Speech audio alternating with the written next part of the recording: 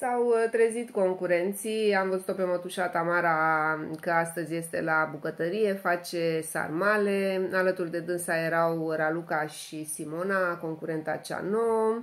Uh, pe mama lui Sorin au arătat-o în terasă, făcea curățenie de dimineață, s-au trezit fetele, și-au aranjat paturile și au coborât să-și facă cafeaua.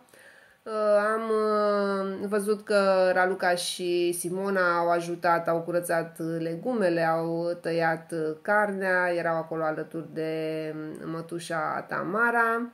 Uh, Ramona era bine dispusă de dimineață, a și dansat puțin, era o melodie de la Babașa.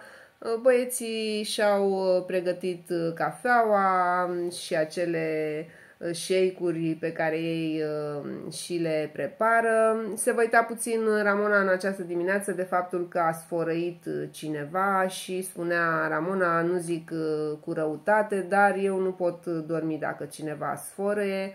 Uh, le explica fetelor că dacă persoana care sfărăie apucă să doarmă înaintea ei, ea nu mai reușește să adoarmă și nu se simțea uh, bine pentru că nu, nu dormise confortabil. Uh, discutau fetele și despre muzică, Tes uh, povestea de dimineață că nu îi, place acest, nu îi plac aceste melodii care se pun în boxe și își dorește foarte mult să asculte melodiile ei preferate.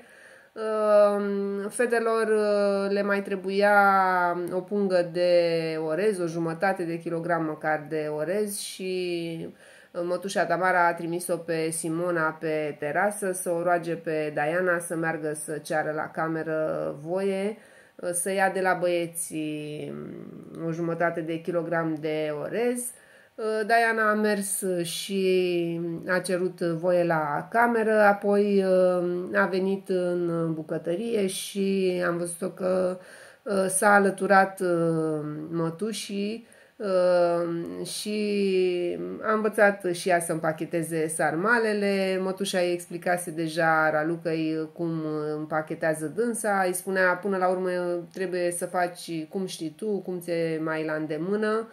Important e să nu se desfacă sarmalele. Raluca la rândul ei a explicat Dianei și Diana a ajutat și ea la împachetatul sarmalelor.